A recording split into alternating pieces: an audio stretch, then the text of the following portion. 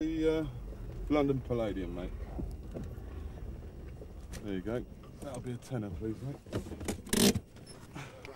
Cheers. Are you, are you sure you're all right? I'll, yeah, I'll get the door for you then. Do you want a receipt?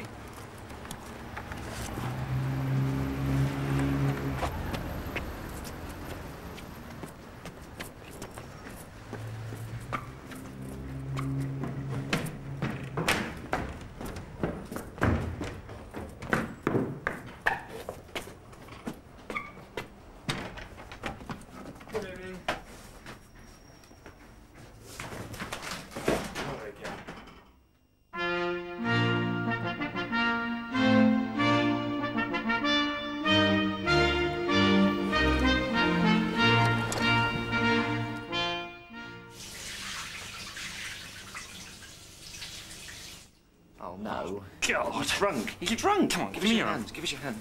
She's in tonight, you know. It's typical. Absolutely typical. Give us your other hand. Other hand. Always the same. Always the bloody same.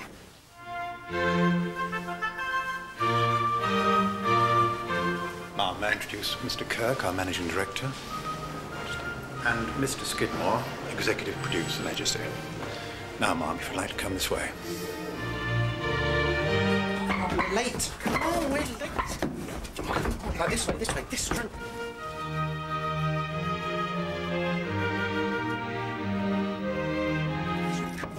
You're gonna be all right. You're gonna be all right. Bloody safe. This is Miss Fortescue, ma'am, We'll be looking after you this evening. Stairs, stairs, stairs. One, two, good. Nearly there, nearly there. Come on, come on. No. Please, come on. Right, stay, stay. We gotta go, okay? Oh,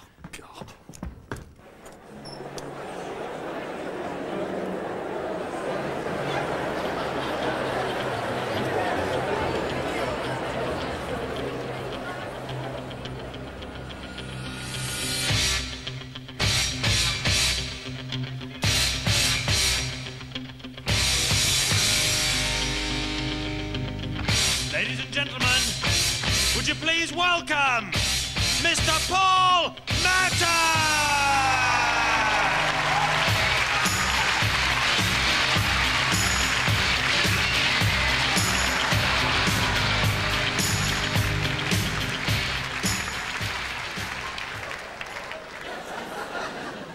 Who was that?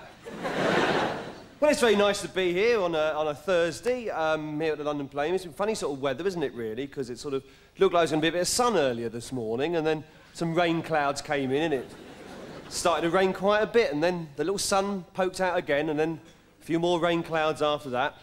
And then it got dark about half an hour ago. Well, we, we sort of expected that, really, didn't we? well, that's the topical stuff out of the way with, anyway.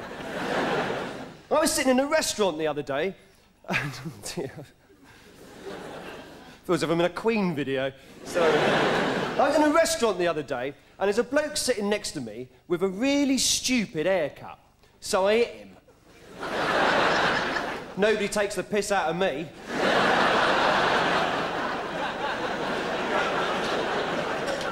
I, I'd hate to give up smoking because, um, well, I don't smoke. If I was to give it up, I'd have to start, and I've tried starting, I just haven't got the willpower. I've tried suddenly starting, gradually increasing the number of cigarettes I smoke each day, cutting up. Sometimes I find myself not having a cigarette and then not having another one immediately afterwards. I'm probably not smoking 50 to 60 cigarettes a day. Of course, there's all kinds of methods for people who want to give up smoking. There's nicotine chewing gum, hypnotism. My aunt used to pour a gallon of petrol over herself every morning. the idea being that she couldn't light up without turning herself into a human fireball. Didn't stop her. She'd be in the living room, you'd hear a cough and a whoosh. She was up to 40 whooshes a day by the end of it. The bloke next door's had surgery to stop him smoking. He's had his lips sewn together like that. But he still carried on smoking. He used to put the cigarettes up his nose and smoke them like that. So the doctors thought, well, this is no good. So they got hold of him and they pumped a load of cavity foam up his nose. Like. But he still carried on smoking. And it wasn't through his ears either, I can tell you. He'd be sitting on the bus and everybody would wonder where the smoke rings were coming from. Nobody else had a drag on his fag, I can tell you. In the end, he was cured by acupuncture. They stuck some needles in his eyes, he went blind, he couldn't find his fags anymore. it's always been an ambition of mine to get hold of a video camera and go round to Jeremy Beadle's house, disguised as a mad axeman, just for a laugh, and then kill him. And I'd get all the bits and pieces and I'd chop them up and I'd hide them all over the countryside and I'd send Anneka Rice up in a helicopter to look for them and the programme would be called Beadle's About. Do you know, I always wanted to ask Lee Harvey Oswald, can you remember what you were doing when President Kennedy was assassinated? Over here, you sort of get Irish jokes, but in, in, Ireland, they tell exactly the same jokes, but they tell them about the people from Kerry. So it's like the Kerry man who did this or the Kerry man who did that. So I went to the county of Kerry, and I found that there they told the same jokes, but they told them about a small village within the county of Kerry. So I went to this small village, and there they tell the same jokes, but they tell them about the people that live at number 54. So I went to number 54, and there they tell the same jokes, but they tell them about their dad. Except their dad actually goes out and does all these things that become Irish jokes. and it's just one bloke doing it. and if it wasn't for the family taking notes, we'd never get to hear about it. And I went round to see them, and I sat in the kitchen, and it was about half past six in the evening, and he came in, the dad came in, and he said, all right, Dad, how are you? He said, well, I've just been to the doctor's. Oh, good, he's been to the doctor's. Get the notebook out. what happened at the doctor's, Dad? Well, I said to the doctor, uh, Doctor, I want to be sterilised. So he boiled me for eight hours. it's a good one. We'll do that down the pub tonight, that one.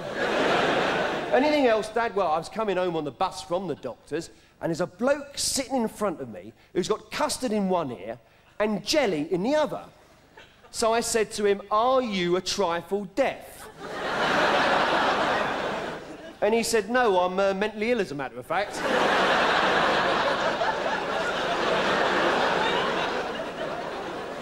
oh, I don't get that one. I should do that one. About a year ago, I had a burglar. I was lucky. I disturbed him. I said, there is no God.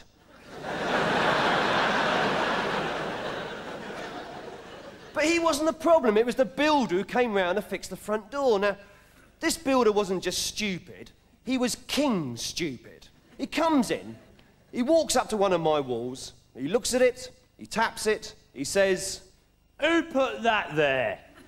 Now, I let that one go, which was a mistake. I wouldn't eat in an Indian restaurant. You don't know what you're eating. Dog. That's what I reckon. Now, people say this, but like if you're a chef in an Indian restaurant and it's your job to get a week's supply of meat, what are you going to do? Are you going to go down to the butcher's, buy some chicken, buy some lamb, or are you going to run around the streets late at night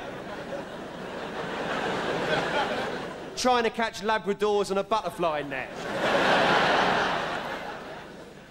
and then the builder says, This burglar black, was he? I said he wasn't black, no. Are you sure? I said, well, I only saw his face, really. I have no idea. Because they're quite clever, some of them, you know.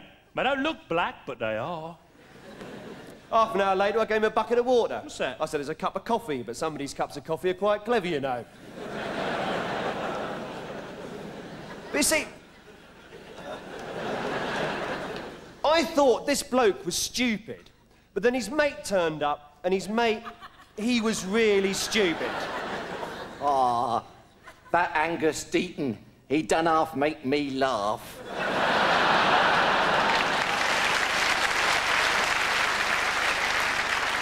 Now, you can't get much more stupid than that, really, can you? Do you know there was a time, there was a time when men wore wooden condoms? Now, I know it sounds like something I've made up, and I have. But there was a time when men wore wooden condoms and they used to stand around the pubs in the 15th century. Sort of, uh, here, here, Harry, have a look at that. Solid oak, that is. I had squirrels in there last year. I might put a drop of creosote on that later on. Of course, it was the Romans who wore condoms made out of the guts of sheep. And I imagine this bloke walking through the Colosseum, sort of stuck on a sheep. And somebody says, What are you doing? He says, I'm wearing a condom. I just couldn't be bothered to take it out of the packet.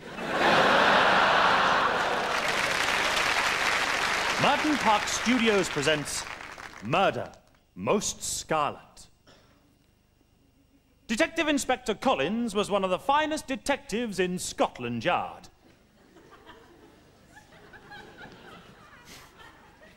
He was met on the steps of Greyshot Hall by young Lord Greyshot, a dashingly handsome fellow whose animal magnetism attracted animals from all over the surrounding area. He had, in fact, been banned from the local safari park for trying to penetrate the lion's enclosure. Ah, Inspector, thank God you're here. It's my father. Has he been murdered? Yes, the body's upstairs. Follow me. Righto.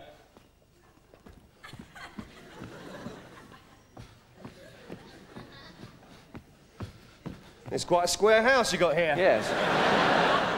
Ah, interesting. Judging by the mud on his knees, I'd say he'd be kneeling down in mud. Extraordinary. Shall we go back down? Why not? That door wasn't there before. Here we are. Right. There's a body down here as well. But that's my father's twin brother, Lord Greyshot. How do we know it's not the same man? Impossible. I'll go upstairs and check. I'll stay here. All right.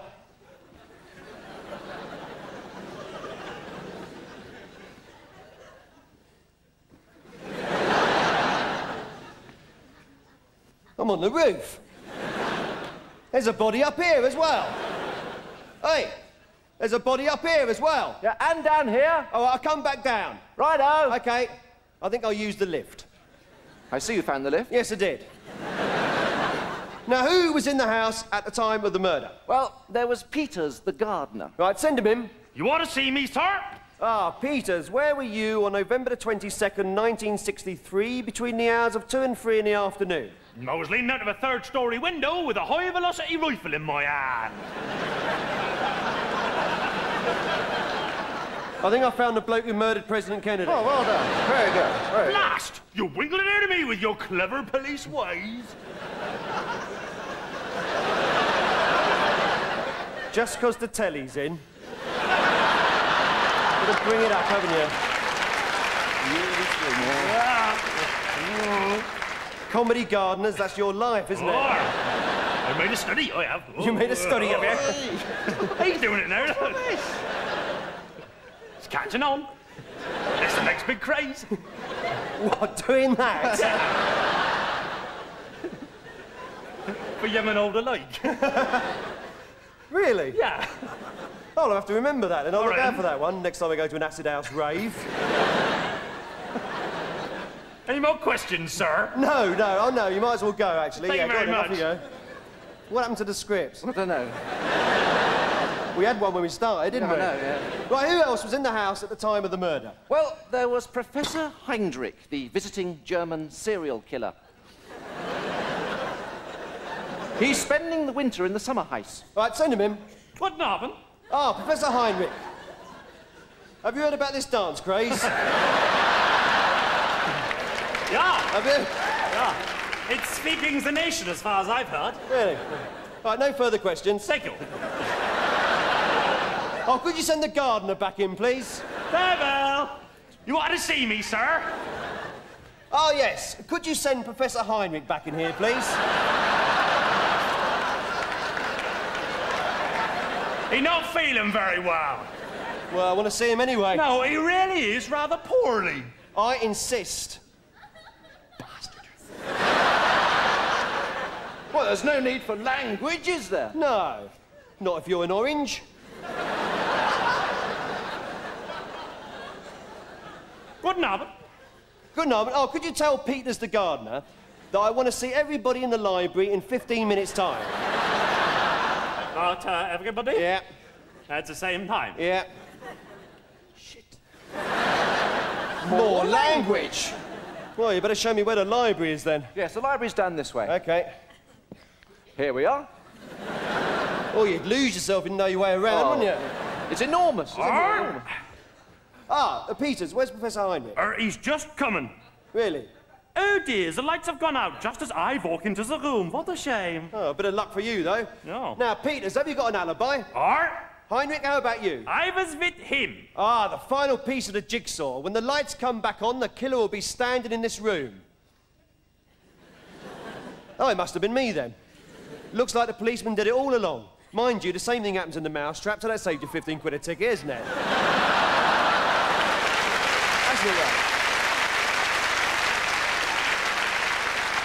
though? Okay, it- it's been running 42 years. They must have made their money back by now. They must have done.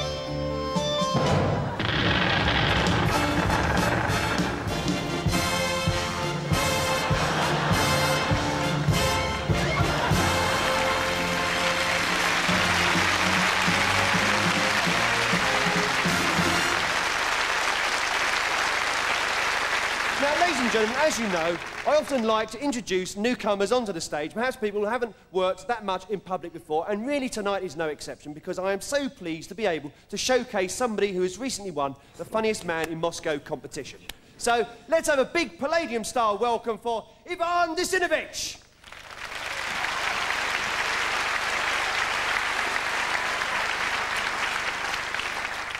Dostoevsky. Good evening. Porostrovna Petrovna Turetsky. I was travelling on the underground the other day.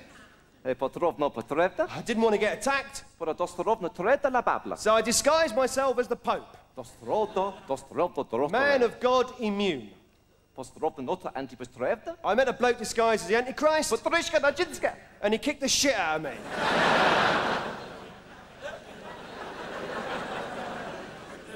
Drof, drof. Boom, boom. Postrovna Petestrostrovna. Do you know the very first tube station ever opened Dostra Baker Street, to Ed Nuo. was Baker Street in 1868? Dostra Blotta Trovna. What was the point of that? Dostra la Pelotra. Where would you go? Dostra Petrovna. What was the rush hour like? he's doing my jokes out here. These are my jokes he's doing. Petrovna la babla. By the way, I live locally. Postrovna la babla. Well, I always have lived locally. Babla. Wherever I live, Postrovna Trovna Streta I la always make damn sure it's local. Postrovna Petrovna Strovna. There's no point in living five miles from your house. You never get back at night. What's Russian for get off? During the Blitz, in the Second World War, my dad used to say, Don't worry about the bombs. Dostra Petrovna Dostra. The only bombs you've got to worry about Petrovna Dostra Noca Strovna are the ones that got your names written on them. Postrovna Postrovna Strovna. That scared the next door neighbours. Dostra a babushka Dostrovna Trev. Mr. and Mrs. Doodlebug. That's the biggest laugh that's ever got. The full bottom Dostra. My name's Paul Merton. Good night. It's my name. He said my name. Postrovna Postrovna Strovna And Strovna. now I'd like to bring on a very special friend of mine. Postrovna do St. Petersburg. He's the Lenny Henry of Leningrad. Igor Davidsky. Igor Nurinsky.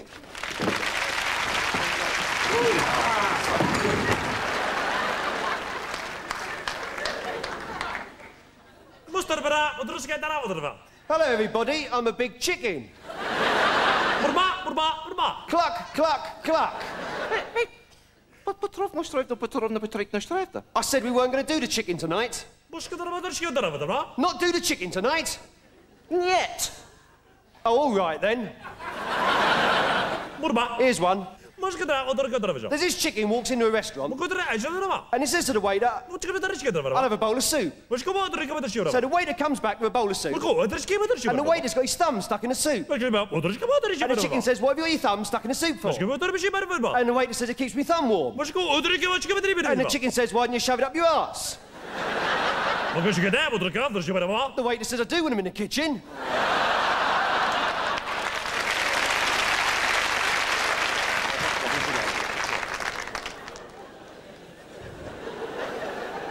Estro Petrovna Petrovna Strovna. It's always the same with you, isn't it? Petrik, Petrik, Petrik. Chicken, chicken, chicken.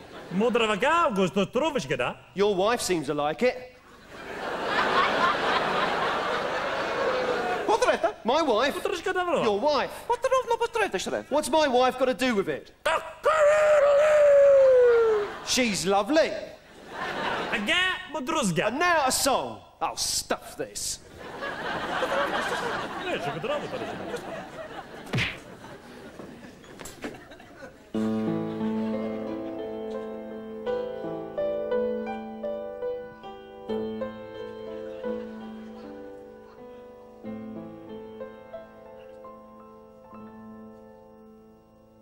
brez křeva, morba troskrva. Troskarwa. Madrawagi, madragadishka dove troskawa. Odraskunczki darwa, braski, munski żgarwa. Gigiskawa, Maguske drumva gurva gavashkuskeri. Bedruskeru. Bedruske burba kaskere badruva kuskeru. Bedruske burba kaskeri. Burbe buske novari. Druske farva kuske nova. Nove trova kuskeri vadruskero. Medvuskero. Medvuske burba kaskeri vatsova kurva Bedruske burba kaskeri vadruva trova garveki. Vadruskero. Vadruskero.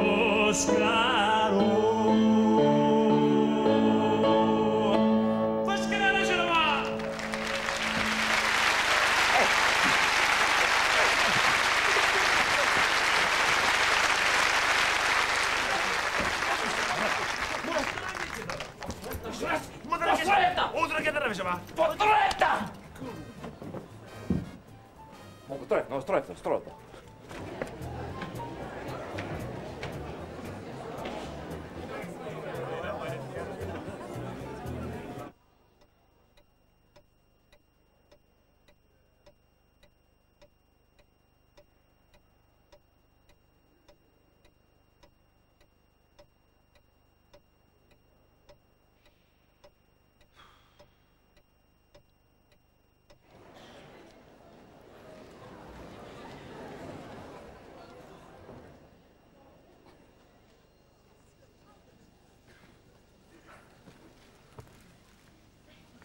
Dostrowiecki. Prosrowno potrow, dostrowiecki środowna, posrowno potrewna środowność trotrewna, posrow tresta, imperial letter.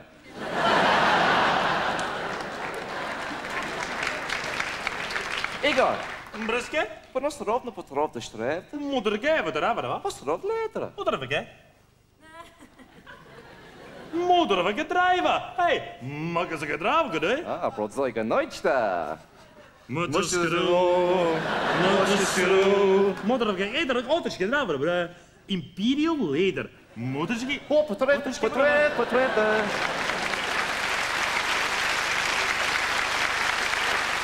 I remember my first day here at Wimbledon College, even though it was 25 years ago. Being a stranger to the school, I made the mistake of turning up on my very first day with a working class accent. For this, I took a severe caning. In the face. But it never did me any harm. The next day, some of the older boys made me eat my own blazer. I was reported to the headmaster for not wearing the full school uniform. I was caned across the eyes. It never did me any harm. Later that term, I was accused of coming from a family that didn't have very much money. I was taken out in front of the entire school by the headmaster. My internal organs were removed, caned, and replaced. This experience left me physically and emotionally scarred, rendering me a twisted psychotic, unable to extinguish the raging fires of hell that burn eternally within my soul. But it never did me any harm. In conclusion, I'd just like to say that my school days were the happiest days of my life, which gives you some idea of the misery I've endured over the past 25 years. Thank you.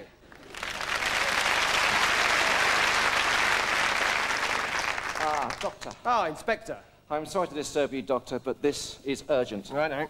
Have you finished your report on the Balham phone box murders. The? Balham phone box murders, yes. I've got to say, this is the most baffling case I've ever come across. and why is that? Two of the victims were found buried in Epping Forest. Yeah? Another one was found in an underground car park in Romford. So what's your problem? Why are we calling them the Balham phone box murders?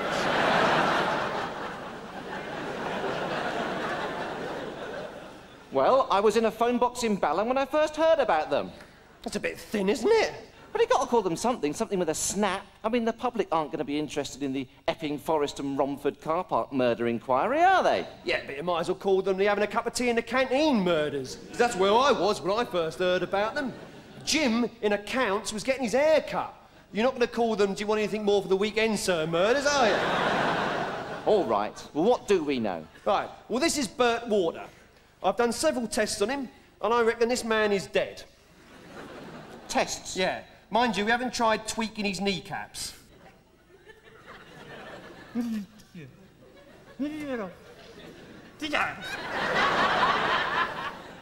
Is that where you keep your kneecap, is it? I was trying a bit higher up. Where? Yeah, Yeah, he's dead, all right. yeah.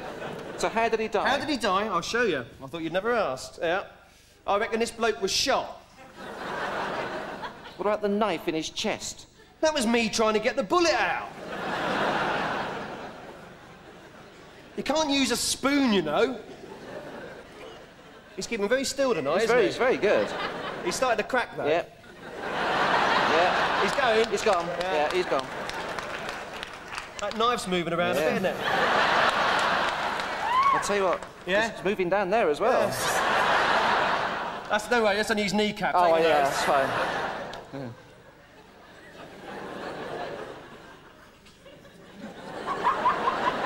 you put a light on that, you get a nice disco effect Yeah. up there. Very good. Is it moving? yeah, it's moving, all right, yeah. Right, what, what the script? Oh, yeah. Um, well, I've managed to build up a psych... I've managed to build up a psychological pro... You're still laughing? Yeah, he's still going, yeah. Yeah, I managed to build up a psychological profile of our killer. Oh, that's good news. It is good news. He's a man or a woman whose height is somewhere between two foot one and seven foot eleven. Well, that rules out Jack seven foot twelve McGuinness, then, doesn't it? Exactly. Doctor, doctor, he's alive. That Angus Deayton, he don't half make me laugh. So I had to do that. He was rambling.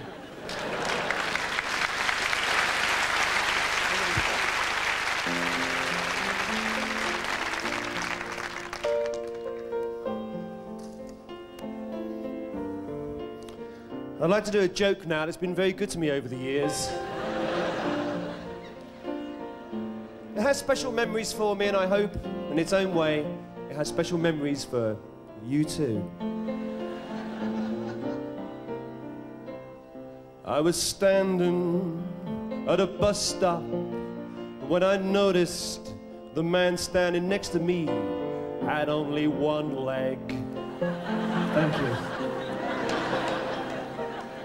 I looked at my two legs. I looked at his one leg.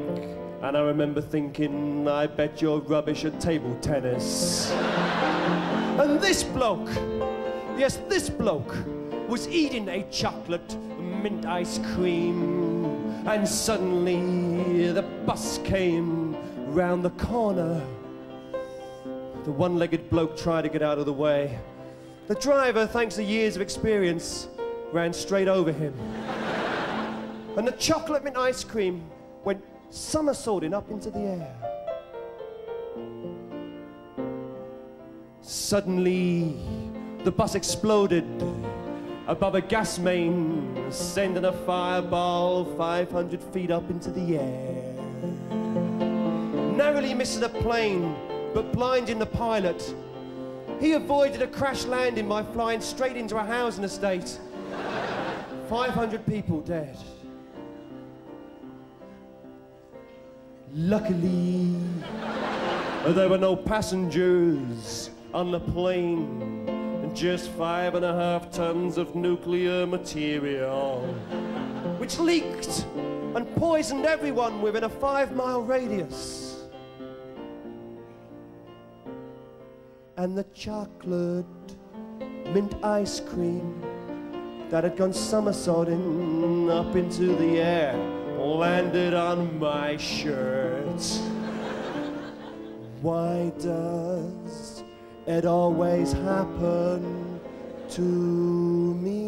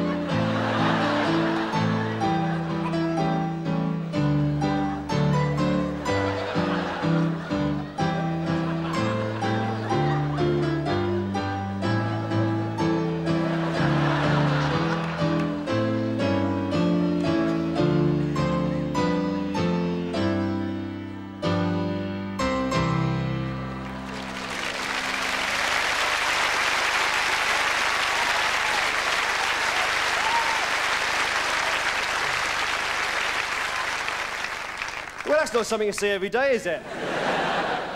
you know, I think it's a very depressing thing when fifth-rate TV comics feel they've got to make ends meet by appearing in third-rate pantomimes. And so we proudly present Aladdin. Welcome to the story of Aladdin. It's got some good, it's got some bad in. He's an orphan, how about that? So if your rand is flat, don't expect to find his mum or his dad in. He lives with his auntie, widow Twankey, who yearns for a life that is more swanky. Oh, but look who's just come. It's Aladdin's best chum. He's chirpy, he's cheeky, it's Buttons. Hello, boys and girls. well, you can do better than that. When I come out and say hello, boys and girls, I want you to shout out, hello, Buttons. All right, let's give it a go. He's chirpy, he's cheeky, it's Buttons. Hello, boys and girls. oh, that's nice to hear, because I haven't got any friends at all. Don't you patronise me.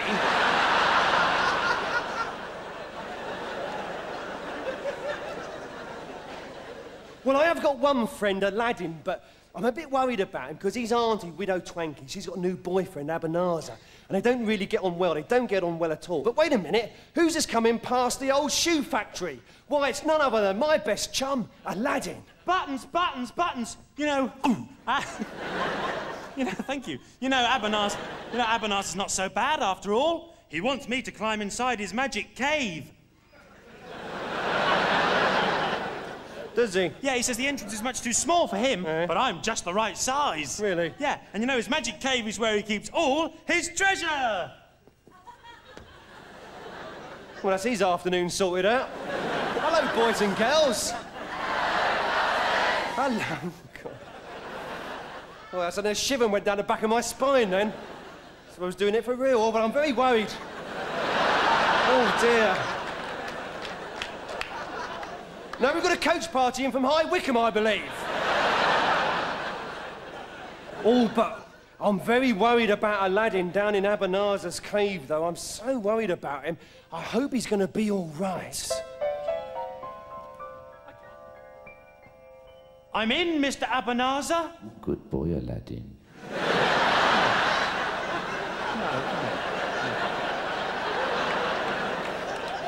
No need, right? Just Tell me, Aladdin, what? what can you see? More treasure than ever I dreamed of. Ooh. You're pushing it, you really are. Can you see a golden lamp? A golden lamp? No, but there's this old one, tarnished and covered in cobwebs. Oh, good. Pass it up to me. When I've given you the lamp, you will help me out of the cave, won't you? Give it to me! I can't think what Abanazar wants with this old lamp. Why, it's tarnished and covered in cobwebs still. It might be gold underneath. What do you think I should do with it, boys and girls? Thank you. Very quick and very keen. Well done. All right, I'll give it a bit of a buff just over here. There we are. Oh, lovely. Yeah, all right, all right. You're bloody mad.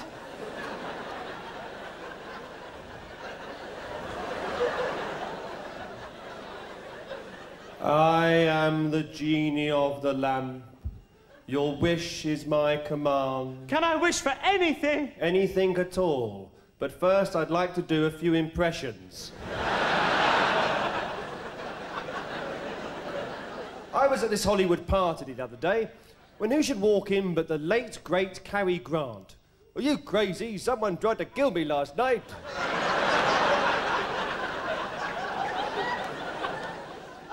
Do I look like a murderer to you? When I kiss a girl, she stays kissed. I wouldn't touch it with a barge pole. But wait, who's that with him? Why, it's a legendary master of suspense, Sir Alfred Hitchcock. Good evening. but who's this with him? Why, it's none other than the star of stage, screen, and radio, Sir Alec Guinness. So you want to be a Jedi? Well, that's. That's marvellous, Genie. Listening to you has helped me decide what I want to wish for. First, I want to get out of this cave. Second, I want Abanazar banished. Third, I want to marry the princess of Pantoland, Princess Cinderella. Your wish is my command. Oh, I'm very worried about Aladdin now, I am. But I'll let you into a little secret, boys and girls, ladies and gentlemen, kids and kidlings, liver and bacon, spring and onion. I'll let you, whiskey and soda, I'll let you into a little secret. I'm in love with a princess. Oh, she's lovely. But wait a minute, I think I can hear her coming now. And look, she's been swimming.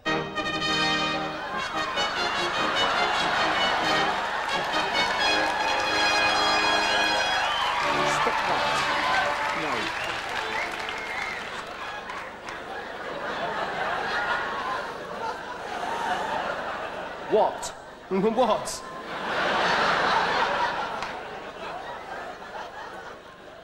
Isn't she lovely? God knows what the ugly sisters look like. What are you doing? It's me radio pack. That's not the pack we're looking at. Here, you know that rabbit that went missing? I think I know where it's hiding. Not strictly necessary, is it, really? What? It's, it's riding up at the back. Is it? Yeah. You think it'd have more sense?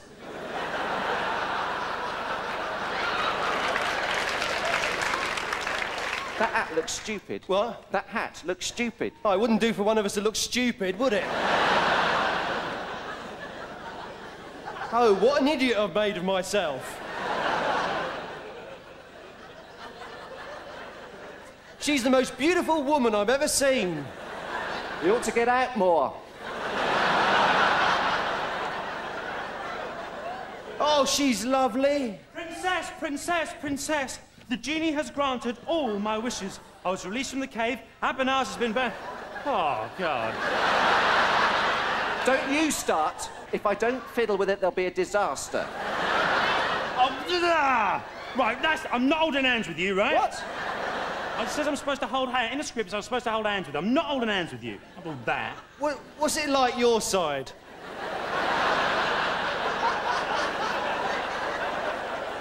Hammy hamster after a big meal. You could open a bottle of Guinness back here. You'd be the only one drinking it. Hello, I'm Terry. I work for the Nationwide Building Society, and this is my advert.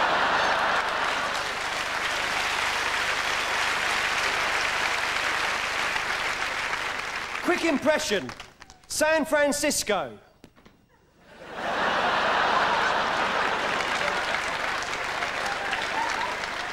Please, just a little while. Yeah. What? Uh, the wishes, though. What's all this? That's modesty, that is. Thank God for that.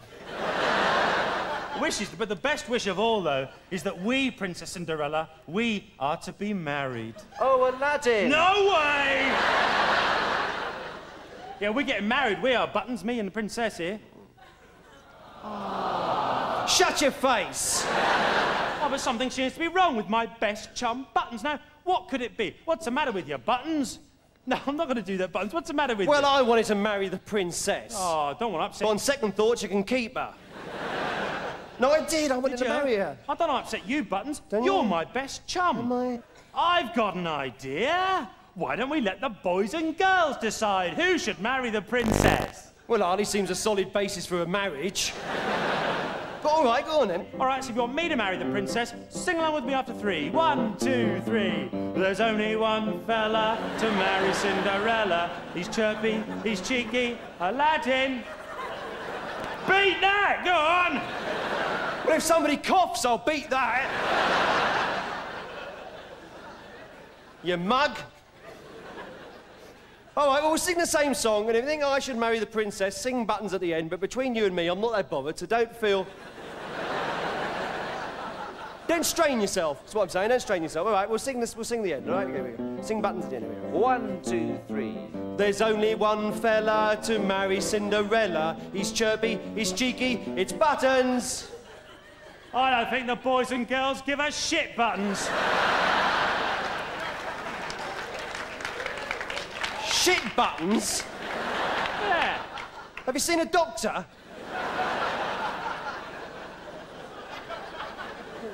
No, it's not there. Sounds like an old cowboy actor from the 1940s. Shit buttons. Our man from Laramie. Afraid of no horse. Hi, my name's Shit. My friends call me Shit Buttons. How'd you do? Thanks for cleaning the town up, Shit.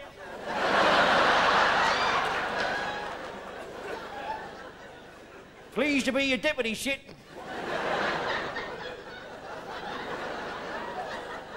I'd like to shake you by the hand, Shit. That's not his real name, you know. Is it not? No, Shit Buttons, that's ludicrous. Yeah. No, his real name was Shit O'Houlihan. Well, I think. He invented. He invented a new kind of glue. What was that then? Shit stick.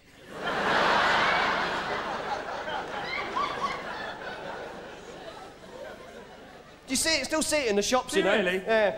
His mother, of course, his mother, she was the real genius in the family, you know? Yeah. Oh, she made her, she made her name in bread like nobody else has ever done it before. In bread. In bread, yeah, all kinds of bacon and stuff. Yeah, she invented this whole new thing that people still eat even today. What was that? Shit baps. Shit baps. Yeah. Well, you couldn't call them anything else because of the Trade Description Act, you see. Because it was bap, shit, and bap. Sounds like the first name of the Beverley Sisters, doesn't it?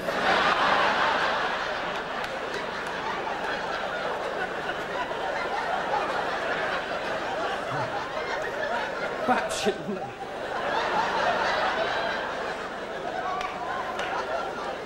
No wonder they were popular. Well, I think we should give the boys and girls, right, another chance to They sing. don't want another chance. They can have another chance. They don't want another chance. Another Could chance. you just hurry up? It's bloody freezing. Oh, that's right, swear in front of the boys and girls. Ruin the kiddies' Christmas. Mummy, why did that man say bloody? Because he's an arsehole, darling. Sounds like an early female aviator, doesn't it? Arsehole darling flies the Atlantic.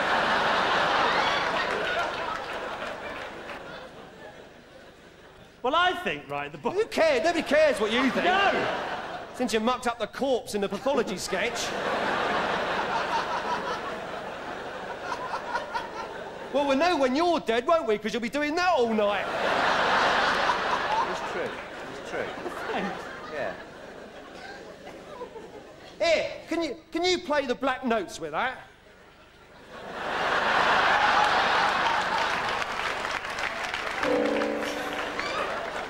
Did half hurt though? You're lucky it's not a harp.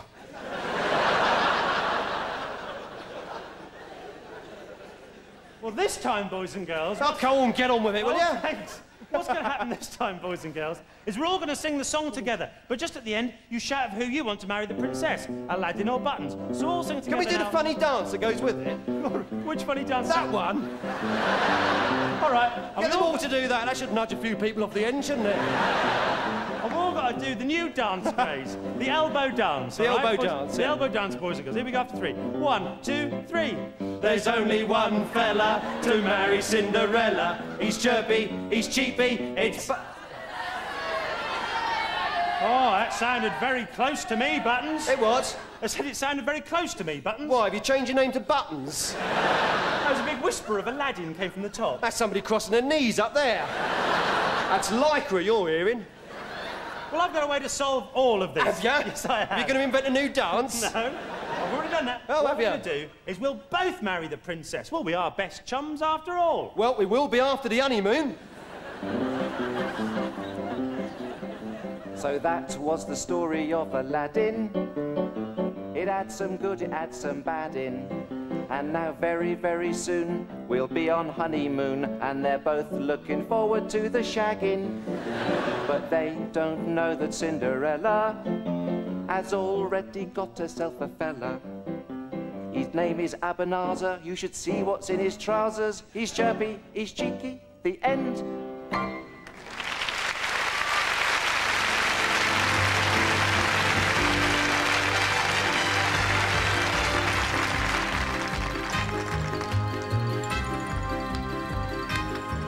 We used to be unhappy, we used to moan and moan. We never went to parties, we'd always stay at home. The headlines in the papers would always make us cry. I was a very unhappy chappie, and I was a real glum guy. But one day someone showed us that life could be a game. He changed our lives forever. Mr. Happy was his name. Mr. Happy, born with a smile on his face. The happiest man in the human race. Mr. Happy, a look at his cheeky grin. Sends the blues away and lets the happiness in. Mr. Happy, A smile for everyone. his smile is brighter than the sun. Mr. Happy. He's the man with the happy plans. He's happy and he knows you clap your hands. He used to be a man of little cheer. His heart was full of woe and full of fear. His prospects looking bleak. He cried ten times a week, and the weeks turned into months, turned into years. But then one day he had a revelation that ended all his days of consternation. His life had been a trial till he started to smile. Mr. Happy, now it's time to tell the nation.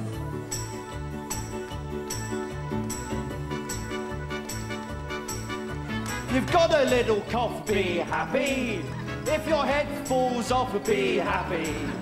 If you find that your wife leads a double life, uh, you know what to do, be happy. If your house burns down, be happy. If your suit is brown, be happy. If life treats you hard because you're a tub of lard, you know what to do, be happy.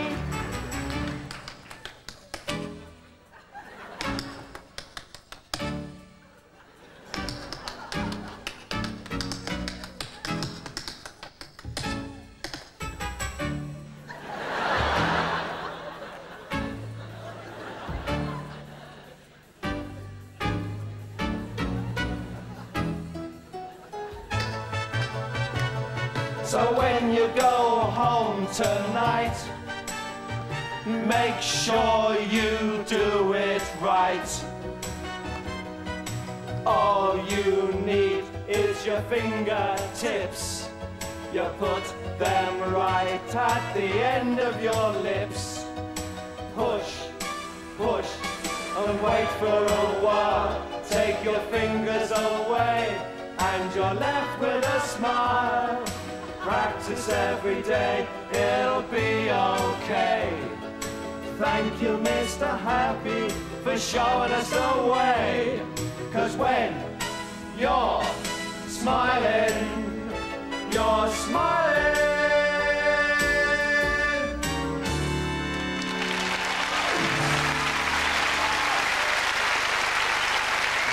All from us tonight. Thank you very much for coming. Good night.